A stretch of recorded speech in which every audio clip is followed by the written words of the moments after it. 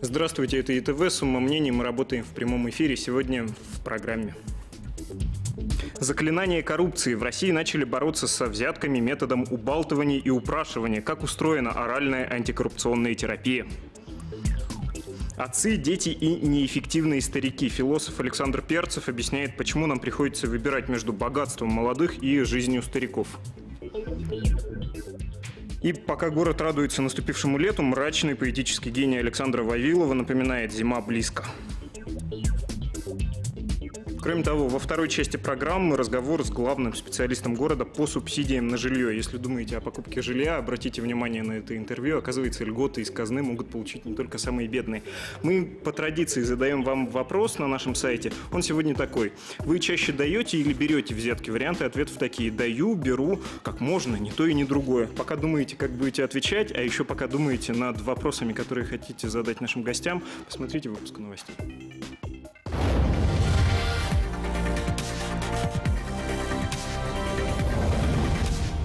Екатеринбурге судят преступную группу, похитившую банков больше трех миллиардов рублей. На скамье подсудимых руководитель группы Олег Палферов и его шестеро предполагаемых сообщников.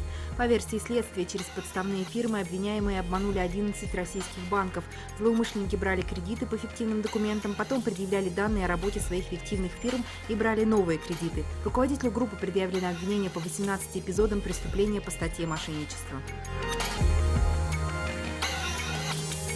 Воспитанники детских домов будут учиться в школах вместе с обычными детьми. Новое положение деятельности детдомов разработали в правительстве страны. Эксперты считают, что детей-сирот нельзя содержать в замкнутом пространстве, поэтому с 2015 года, когда документ вступит в силу, такие дети смогут посещать обычные общеобразовательные школы, поликлиники, а также кружки и секции. Это быстрее адаптирует ребенка к реальной жизни.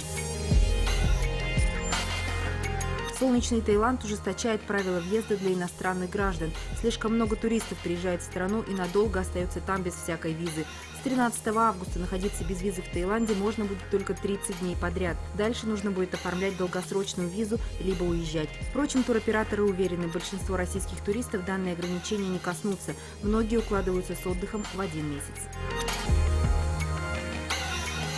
73 площадки будут открыты в Екатеринбурге во время международной акции «Ночь музеев». Поэтому горожанам советуют заранее выбрать, что именно они хотели бы посмотреть. Только для детей будет работать 48 площадок. Посетить большинство музеев можно будет по единому билету.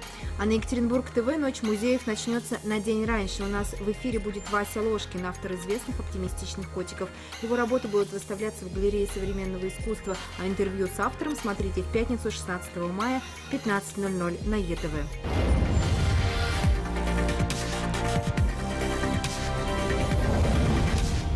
Россия ведет беспощадную борьбу с коррупцией, это сказал бы человек, который любит нашу державу. А человек, который очень любит, сказал бы, что война проиграна и враг оккупировал территорию государства. Очаги сопротивления, ну, какие-то очень локальные. Но, слава богу, наконец-то оружие возмездия появилось. Боевой листок, правда, надо понять, чей это боевой листок, под названием «Известия» сообщает, чиновников научат негативно относиться к подаркам. То есть для госслужащих ввели специальные антикоррупционные курсы. Ну, в общем, вот такое, такое средство борьбы с э, постоянной бедой. Давайте разбираться, поможет ли оно побороть коррупцию или нет. У нас сегодня в гостях Софья Вейбер, член рабочей группы Совета по противодействию коррупции при губернаторе Свердловской области.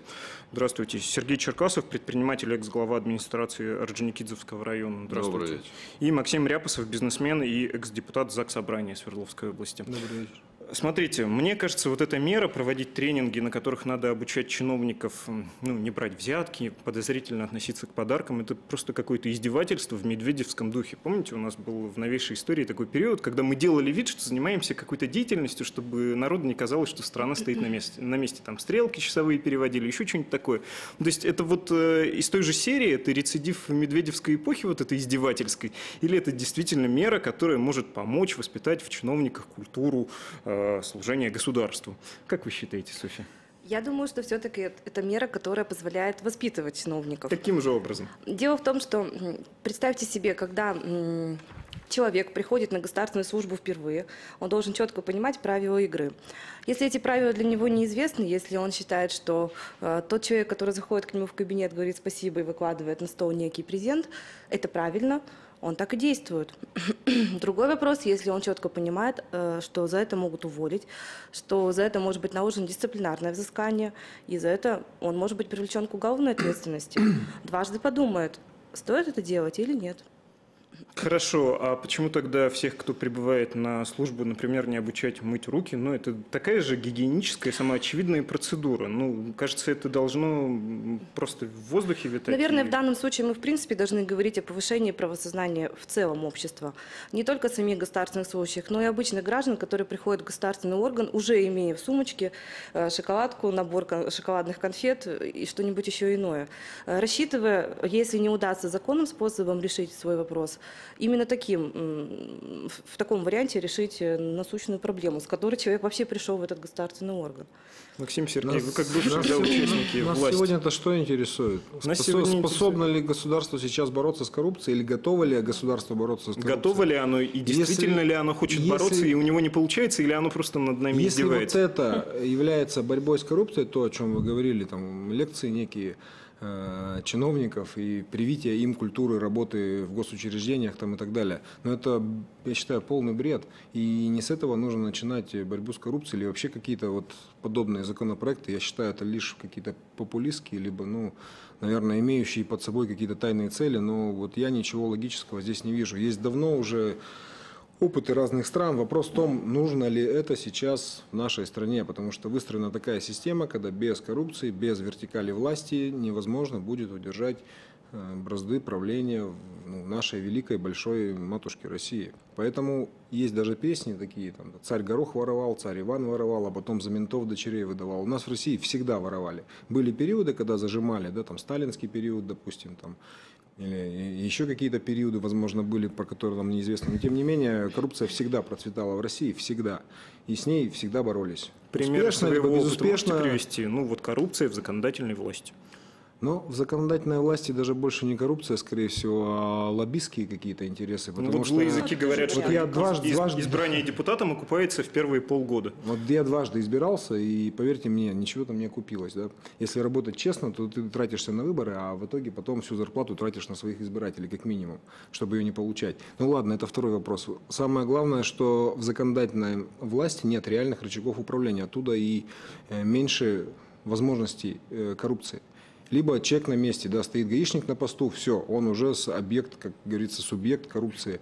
Вот. А, а когда законодатель... это, ну, да, давайте от ЗС не уходить. Я про это и хотел спросить. Ну, не очень много полномочий у ЗАГС-собрания.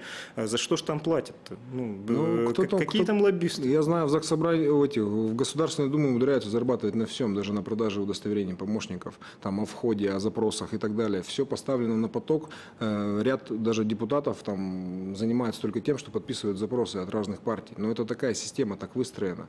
И это кому-то нужно, потому что партии должны финансироваться, соответственно, им разрешается сейчас вот таким образом заниматься, ну вот такой, скажем так, деятельностью, чтобы самим себя прокормить, а государству, соответственно, не тратить много денег на развитие демократии внутри страны. Поэтому здесь как бы такой вопрос. Коррупция должна быть управляема, если она уж, если мы понимаем, что она неизбежна, да, не можешь остановить пьянку, лучше ее возглавь. Нет, вы все равно ушли от вопроса про ЗАГС собрание. Вот в ЗАГС собрании какие есть способы заработать? Я не знаю. Неофициально. Есть, ну, если брать там, ну, ну, вот сколько я работал в двух созывах, да, правда, оба раза досрочно оттуда ушел невозможно там особо заработать денег. Если только если интересы крупного бизнеса, который ты можешь лоббировать, и некий там бизнесмен может как-то там помогать депутату в виде там различных там фондов, возможно такое, да, проявление, но я вот лично с таким не сталкивался. В основном это идет на уровне политических игр разных и договоренностей. Ты мне, я тебе. Тогда идет нормальный процесс работы депутатов. А если вот так там какие-то деньги, ну такого не присутствует. Мы не чиновники и депутаты бывшие там и действующие, они не чиновники. Чиновник за какую-то подпись берет какие-то деньги. А депутат за то, что он творит законы, как он может взять деньги? Только у тех, для, ради кого он творит. Либо это население, либо это какие-то интересы Наверное, крупного бизнеса там, или еще Хорошо, понятно. Простите, да, у нас Сергей еще не высказался. Вы были руководителем администрации района, и, наверное, приходилось в том числе чиновников воспитывать. Вы вот какие-то такие неофициальные курсы проводили, приходилось людям объяснять, что нет шоколадки, даже шоколадку не бери. Ну, во-первых, нужно понимать, в чем проблема вообще борьбы с коррупцией. В том, что она выгодна и тому, кто дает, и тому, кто берет. Конечно. Дело обоюдное. Это очень безусловно. интимное. Вот когда вы говорите, что невозможно решить вопрос без взятки, в принципе вопрос решить можно. Наверное, любой. И получить землю под застройку, и взять в аренду какой-нибудь офис э, муниципальной или государственной собственности. Но это будет очень долго, дорого и, условно говоря, там на самой окраине города Екатеринбурга или Свердловской области. А стимулируя отдельных чиновников, может быть и не Свердловская, конечно, мы говорим в целом сейчас, вы привели там примеры из э, федерального законодательства, эти вопросы можно решать быстрее, короче, дешевле и эффективнее. И поэтому очень мало предпринимателей, обычные граждане – сообщают о фактах коррупции, потому что им это тоже, к сожалению, интересно. Начиная от устройства ребенка в детский садик, ну, в последнее время очереди у нас, слава богу, уменьшаются, давно нужно было этим заняться. Я, честно говоря, не понимаю, почему эта проблема была так запущена в последние годы, пока этим не занялся лично э, Владимир Путин. Ну и, кончая, конечно, вот крупнейшими землеотводами под крупные промышленные предприятия. Это выгодно обеим сторонам. Поэтому все молчат, всем хорошо. И милиция практически говорит, нет сообщений. То есть нам, нам нечем и Следственный комитет, не над чем работать. Софья, всем хорошо, зачем с этим бороться?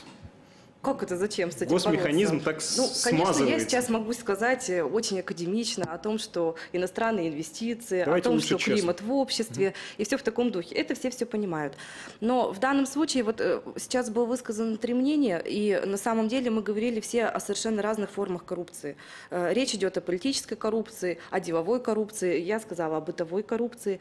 Это разные формы, и меры противодействия здесь должны быть разными. А насчет зачем бороться? Э, Дело в том, что обычный гражданин, который не сразу стал, э, не сразу пришел в политику или не сразу стал предпринимателем, а начинал он все-таки как обычный гражданин, э, он формируется в системе, которая существует. Если у нас сегодня существует система, в которой мы говорим о том, что без коррупционного действия невозможно ничего решить или решить достаточно сложно. Можно, но Можно, сложнее. но сложно. Можно, но сложнее. Конечно же, э, формируется правосознание у человека о том, что такая практика, такая, такие правила игры, соответственно, он ведет себя так, как принято в обществе. Почему надо Если начинать с само- подарков, а, например, Если же- не из Государственной Думы? Если же мы с самого начала говорим человеку о том, что э, правила, другие, э, правила игры другие, то он все-таки думает о другом. Почему мы начинаем с подарков? На самом деле, э, я бы не сказала, что мы вообще начинаем только с подарков. Здесь сейчас действует комплексная программа, и это лишь э, одно из мероприятий, о котором мы можем говорить. Э, Подарок – это очень распространенное явление, и даже в среде юристов, э, профессионалов э, не всегда имеются одинаковые мнения о том, э, что такое подарок. Очень часто э, люди Ну, считают, что если, э, ли- Вы- вы что говорите- если у нас, и что если у нас дается что-то меньше стоимости, чем 3000 рублей, то, в общем-то, здесь все хорошо. Э, Это можно, это разрешено. На самом деле это неправильно. И людям нужно говорить о том, как правильно. э, У Что нас Россия, мы живем в России, живем там, не знаю, на Урале, в конце концов. У нас своя специфика, там, своя история, и мы не можем подстраиваться под какие-то другие, там, не знаю, опыты иностранные. Я И просто мы не пытаюсь... говорим ни и у нас всегда пока. Я было просто вот- пытаюсь понять, почему методично Есть- начали вот с этих мелочей. Ну, то есть в начале А года дес- мелочи. действительно всех чиновников обязали сдавать подарки, и их оценивают, если они дешевле 3000 рублей, то их там можно забрать, выкупить, если дороже 3000 рублей. Сейчас вот какие-то тренинги, но никто не говорит о коррупции куда более масштабной. Ну, то есть э, зачем конечно. сосредотачивать усилия на ну, вот А таких обычного декоративных вещах? Обычного гражданина волнует именно бытовая коррупция. Обычный гражданин э, приходит в государственный орган за решением какой-то проблемы. Ну да. Он не идет в политические сферы, он не занимается бизнесом. Ему просто нужно получить заграничный паспорт в, в укороченные сроки. И он просто ехал, э, нарушил некие правила на дороге. Он просто хочет э, устроить ребенка в детский сад. То есть это насущные проблемы, которые касаются